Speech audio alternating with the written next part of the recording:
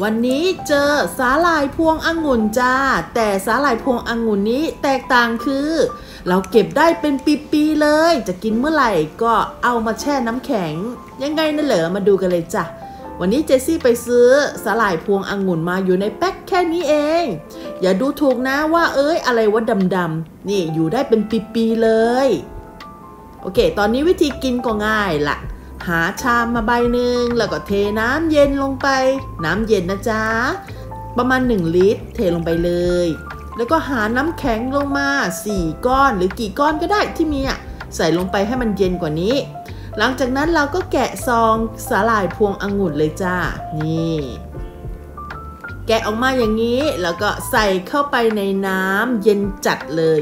แล้วไม่ต้องกลัวว่ามันจะกินไม่ได้ เพราะว่ามันจะคลายออกมา มันจะเป็นปลาหมึกเหมือนสับปะหลาดเลยเห็นไหม แบบนี้เลย ขอบอกเลยนะ สดมากจ้า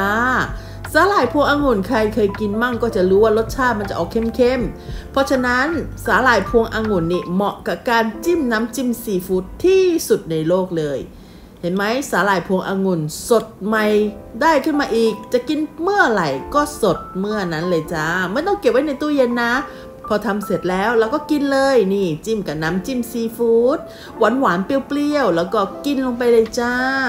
ขอบอกเลยนะ ถ้าใครอยากออเดอร์หรืออยากได้ ทักมาได้เลยนะจ๊ะ